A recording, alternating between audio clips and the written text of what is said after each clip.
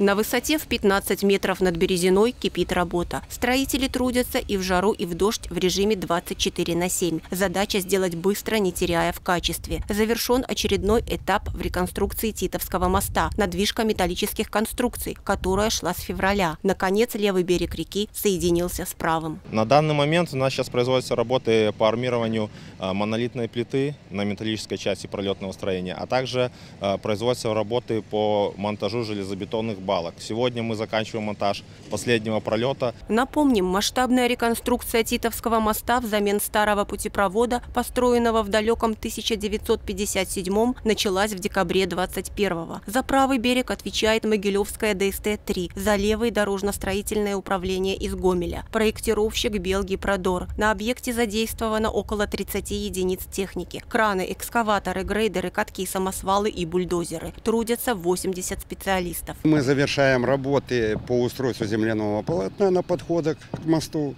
этого участка левого берега. Тут порядка было отсыпано около 80 тысяч кубов грунта. Сейчас работы завершаются, приступили к устройству укрепления откосов.